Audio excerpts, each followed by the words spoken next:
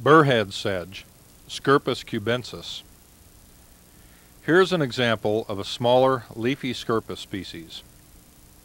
Burrhead sedge spreads by small reddish runners or rhizomes and can cover small areas.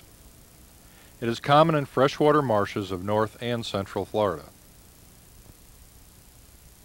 Burrhead sedge is quite different from southern bulrush and soft stem bulrush. This bulrush grows only one and a half to three feet tall. Its stems are sharply triangular and smooth. Burrhead sedge is very leafy, while other common Florida bulrushes have no leaves at all. Its leaves all grow from the base of the plant. They are narrow and ribbon-like, about a quarter of an inch wide and three to four feet long. Many of the leaves are longer than the stem. Like all Scirpus species, the inflorescence is at the tip of the stem. A distinctive feature of this inflorescence are the long, leaf-like bracts that spread around the base of the inflorescence.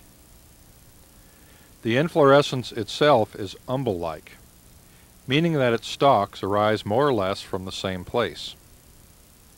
Each stalk is topped by a dense spherical head about three quarters of an inch in diameter. These heads of burrhead sedge contain many spikelets. The reddish-brown spikelets have scales that are spiral and overlapping. The fruit is an olive nutlet about one-eighth inch long. Burrhead sedge can be confused with plants of the genus Cyperus.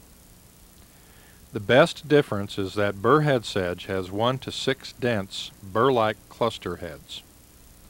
Cyperus species do not have burr-like cluster heads.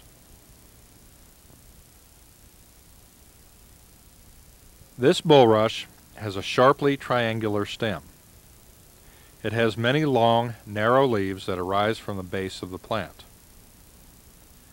Around the bottom of the umbel-like inflorescence are two to six very long, leaf-like bracts. The inflorescence has dense, burr-like heads.